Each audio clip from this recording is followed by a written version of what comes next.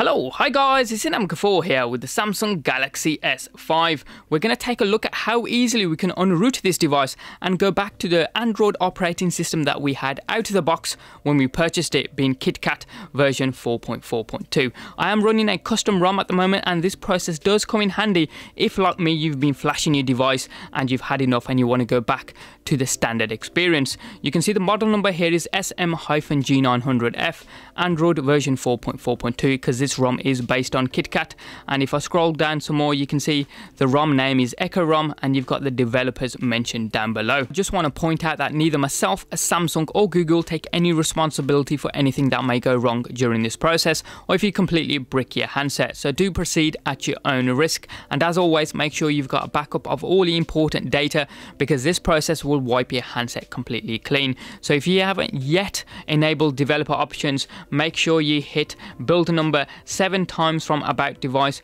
just so that you can see the option when you go back a step here and if we scroll down we should be able to see developer options. There it is. And what we'll do is make sure there's a tick next to USB debugging and accept the prompt on the screen. Obviously this process will increase your flash counter as well as your Knox counter. So if you want to reset your flash counter now's the time to use triangle away to reset it. The Knox counter unfortunately cannot be reset. And obviously no need to mention that your warranty is already void. Up next we now need to power the device off and then get into download mode. So once the handset is off, we need to press volume down, power and the home button simultaneously until we get into the download mode and then we'll need to press volume up to accept the message on the screen. Then plug in the handset into your computer whilst using the USB lead that came with it. On the computer in the top right hand corner of the screen here I've got two icons. The top one is for Odin 3 and the bottom one here is the zipped firmware file for the S5. Both the links to these files will be down in the description box below.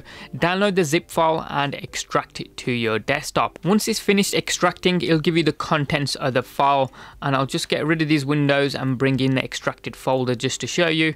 And here's the file that it's extracted the one ending in .tar.md5 that's what we're going to flash our device with. So I'm just going to close that down and load up Odin 3 hit run to any windows that appear and bring up Odin up here. You've got the yellow COM port lit up here on the left hand side. You may also have a blue one depending on what version of Odin that you're running, but either way it needs to be lit up. So if it's not lit up, that means there's a communication problem between your phone and your computer. So it may be worth trying a different USB cable, maybe a different port on your computer, possibly one at the back of the computer, as well as removing the drivers and reinstalling them fresh from the Samsung website. But once you've got the COM port lit up here, you're ready to rock. Put a tick next to PDA here and select the file that you want to flash. So go to your desktop where you extracted that file, locate it and hit open. What we're going to do here is remove the tick from where it says auto reboot because we don't want it to automatically reboot. So take the tick out here and then hit start. It does a quick check here and it will start flashing the device. Odin's finished and it's given us a green pass so we can close this down and remove the handset from the computer. Now remember we set it so it didn't reboot automatically so what we're going to do is uh, press the power button until the device switches off and then we're going to press the volume up power and the home button simultaneously so the device can get into the recovery console. So the device is now off.